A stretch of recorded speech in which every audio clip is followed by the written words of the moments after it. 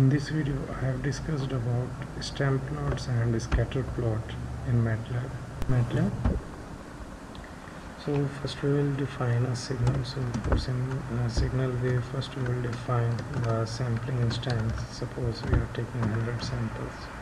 Then sampling frequency that is 100 and the frequency of the signal suppose we are taking 10 now we will define the signal y equals to sine 2 pi into f into n divided by.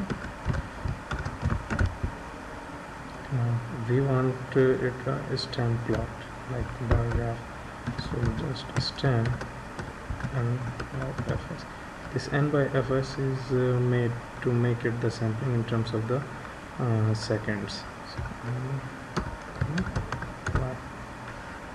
so here it is stem plot for sun suppose we want to put the title stem plot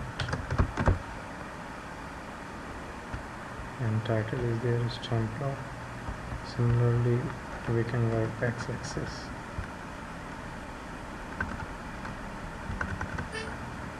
x level. Time seconds similarly the label will be axis. Suppose we want to plot in the color red. So just comma uh, so this plot will be in red color.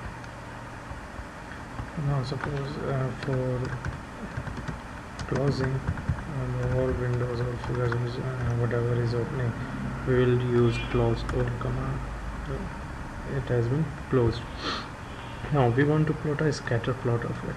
So for a scatter plot simply type scatter okay first we will see scatter again n comma fs comma 1 so the scatter plot will be there. This scatter plot is simply denoting the sampling instances at which we have taken the samples of the sine wave and generally this command is used to plot the feature vectors or two-dimensional feature vector in any signal on which we want to apply the artificial intelligence. Now the next thing is uh, suppose we want another feature vector in something uh, different color and different uh, and different uh, uh, display symbol will be different. So just write the display symbol you whatever you want and then the color suppose green.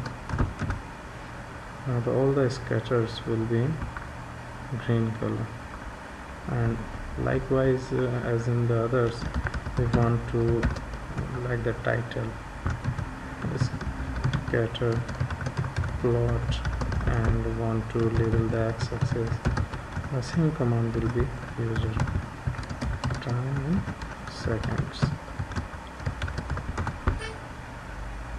x label okay so here is label and this is the scatter plot. That's it for this video. Thank you